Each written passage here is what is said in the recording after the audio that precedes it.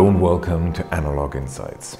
In today's episode, I review the Rollei XF35, which was kindly sent to us by a viewer from Australia, including some prints that show the impressive quality of the lens that it comes with.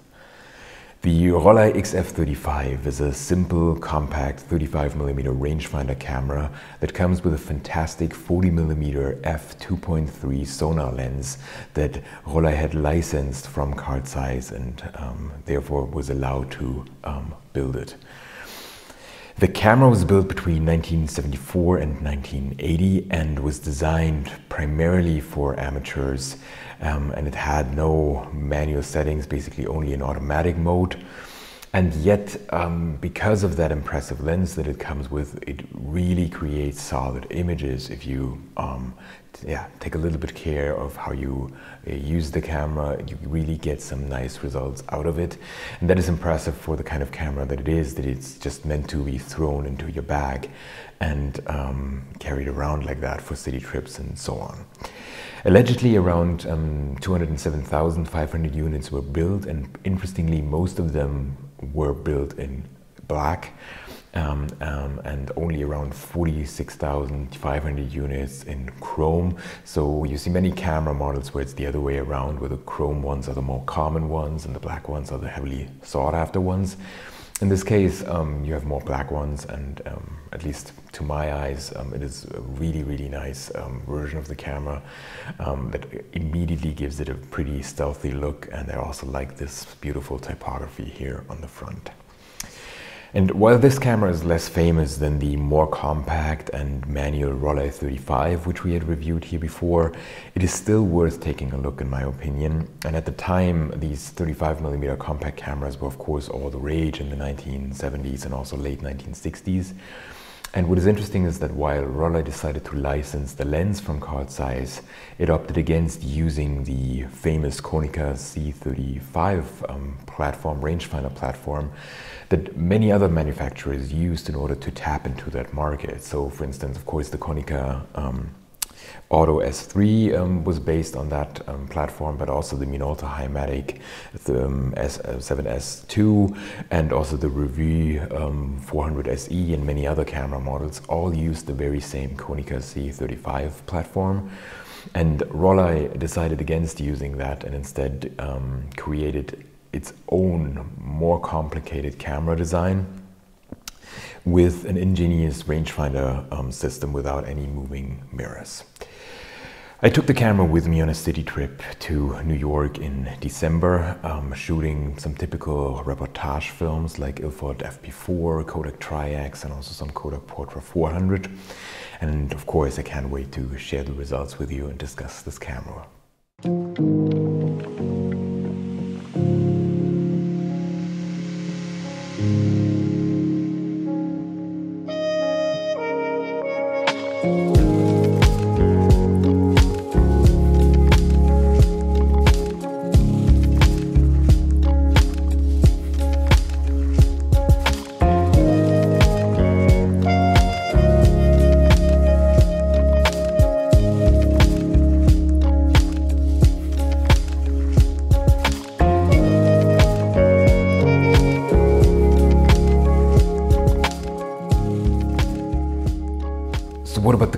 Design and features?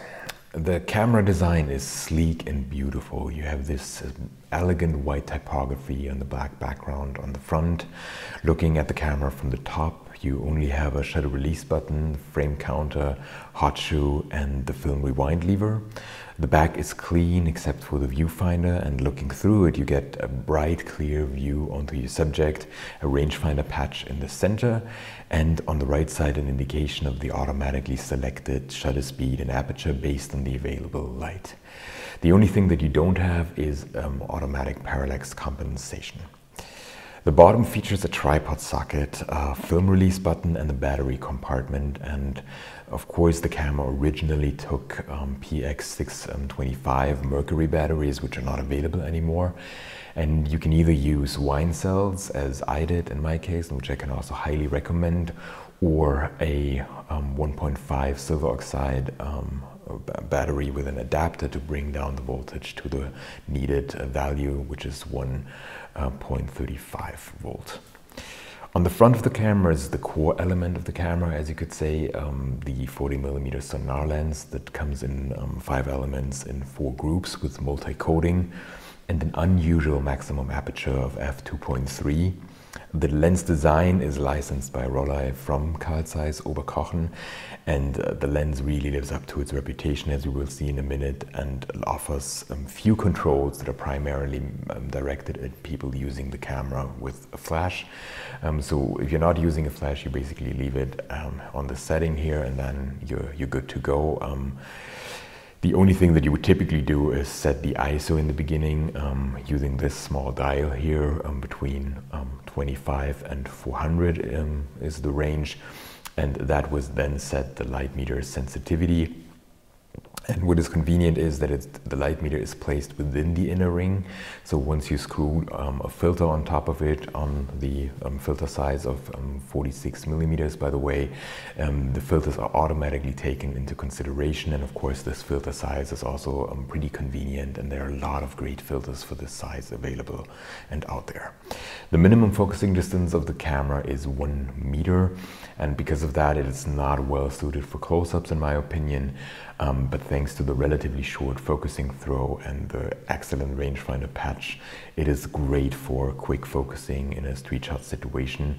And I think this is where the, the whole camera really shines to take some really nice and quick street shots. Um, the built-in leaf shutter offers speeds between 1 um, 650s of a second and 1 30s of a second, as well as a bulb mode. And looking through the viewfinder, you will notice um, a specialty, which is a hint at the construction. There are basically no separate options for aperture and shutter speed. Instead, they are always tied together. And, if, and you can see that here on the right side. So it basically means you get the maximum aperture of f2.3 at um, 1 30th of a second and an f16 at typically 1 650th of a second. Um, and there is no way to change that or manipulate that. The only thing available is um, basically the ISO dial, and you can do some exposure compensation if you want using manipulating the light meter sensitivity, but that's basically it. Um, the Rollei XF35 also supports flash, as I briefly mentioned, as long as your flash has a middle contact. And um, I haven't really tried it, to be honest, um, but I can certainly see that it would work with it as well. And please also note if a lot of these features sound familiar to you and also the look of the camera um, looks familiar, that the Voigtlander VF135 is basically identical to this camera here. Um, so if you're surprised or noticed some similarities, this is why. Um, so the Rollei XF35 is basically identical.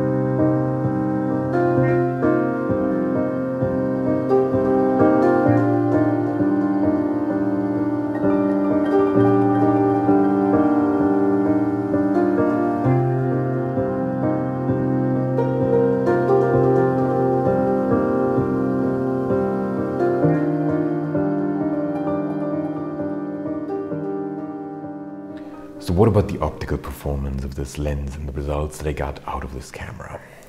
In my opinion, the camera creates excellent, sharp images with a lot of detail and beautiful colors. Um, uh, of course, it was an experiment to just take this camera as my primary camera to capture New York City during the trip.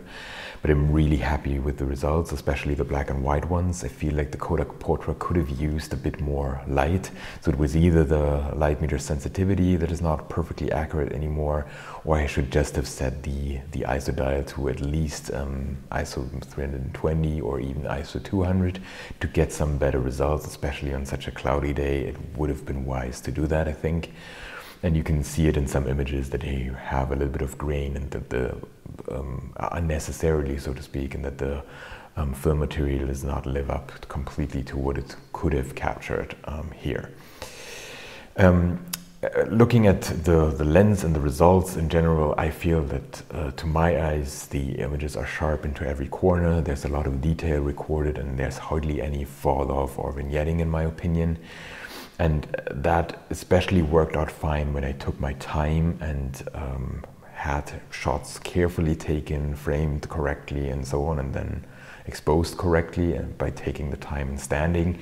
When shooting from the hip, uh, so really in a street shot style, I sometimes had blurry images because of the automatically selected aperture and shutter speed combination.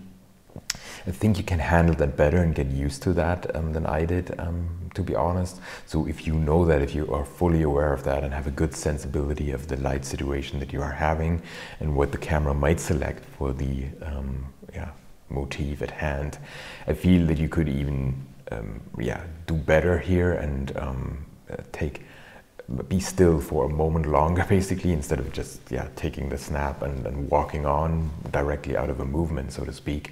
That was my mistake i think. So these images shot from the hip could be even better but of course i find it important to mention that, that the camera really yeah works particularly well when you take a moment and frame and so on.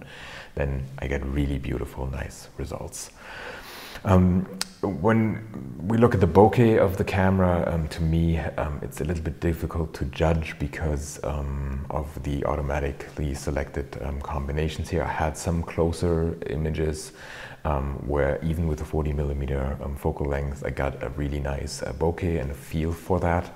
Um, but it's of course the lens really shines in all the hyperfocal situations, the typical street shots, reportage style photographs, and so on. That's just, in my opinion, where it really shines and where the camera just automatically selects something like an f um, 5.6 or f8, and you really get nice, beautiful images. Um, of course, it produces some flaring when shot against the light, especially in my case, it didn't have um, a, lens shade or anything screwed on it. Um, so if you are not terribly fond of that, um, I would recommend doing that. Um, for my taste, I really like the flares in the images where I had them, especially when shooting against the light in, in New York, um, in Manhattan, kind of uh, down a street or something like that. I, I really feel like the, the, the flare adds to the images here and get some really nice results out of this lens.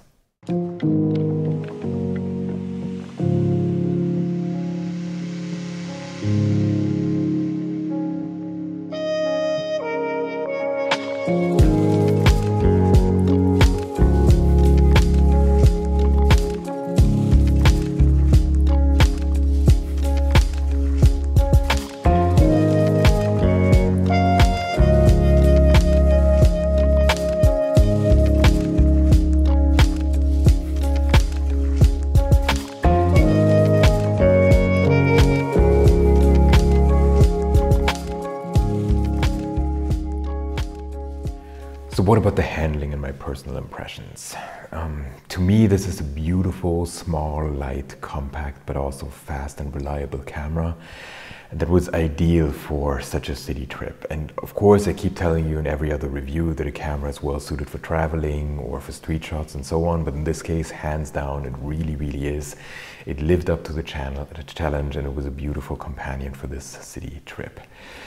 Um, to top things off, I combined it with an Oberwerth, a black Oberwerth casual strap, the Mosel strap, um, which uh, basically fits completely to the black leatherette on the camera and overall gave a nice um, package. Um, and I basically forgot about the camera when it was uh, around my neck because of that strap and because of the lightness of the camera. And I didn't even bring a camera bag on most days that I was out and about in Manhattan or Brooklyn and so on, um, taking shots. I only brought an extra roll of film and that's it. and that was a beautiful experience to um, basically forget about the camera and if you needed it it was still there and even when sitting down at a cafe and so on you could just yeah put it down and you didn't have a lot of stuff with you i didn't have a lot of stuff with me and that was really really nice so what are the pros and cons? On the pro side, I see that the camera is easy to operate and quick to shoot. Um, the lens is fantastic and reliably produces wonderful results. The film transport is incredibly silent and smooth, and in a similar fashion, the leaf shutter is super silent, which gives the camera overall a very stealthy feel. Um, the combination of the black, sleek design plus all the silent operation and the camera can still be had for relatively small prices in comparison to other Rollei models, which of course I really appreciate. And the wide availability with over 200,000 units produced, all made in Singapore without all the nuances as is common for other Rollei um, 35S um, and uh, SE models and so on. Um, I really like this about the XF35, that it's just pretty straightforward. The only small downsides that I see are of course, that there's no automatic mode, that it's only in automatic mode and no manual settings, um, nothing to do basically in most cases. Um, if that is a problem to you, this camera is probably not for you. Um, to me, the battery thing is only a small nuisance um, because you can simply use a Wein cell or have alternatives by now. And also the lack of parallax compensation is not that much of an issue because as I mentioned, in most cases you won't use the camera for close focusing situations or not that much. And um, then you can still yeah, kind of mentally compensate um, for, for the, the closer distance and your framing. And um, the only really thing that is worth mentioning is that the ISO settings maxes out at 400 and at least to me this is a little bit of a problem because I sometimes like to shoot um, an ISO 800 film or rate an HP5 to 1600 in certain situations or uh, light situations and so on. And then the camera would simply not be working properly with the light meter here because you can only set it up to 400. So this is um, a little bit unfortunate. Other than that, I, I really, really like this overall beautiful package and can highly recommend taking a look at it. If you want to get an inexpensive um, travel companion camera, this is really, really nice.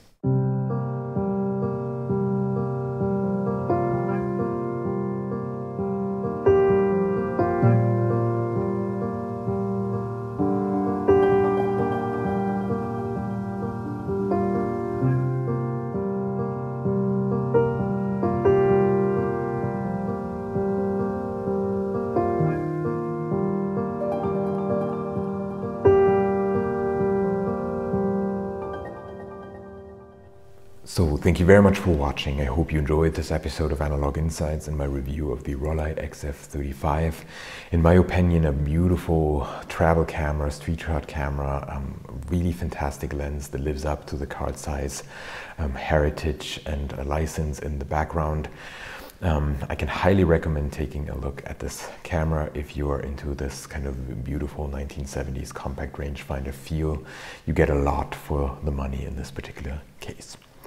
If you enjoyed this video, please remember to like it and maybe even share it with your friends. And if you want to see more videos like this, please subscribe to our channel. Jules, Greg, and I really appreciate each and every subscriber coming our way. So thanks for watching. I hope to see you soon. Bye.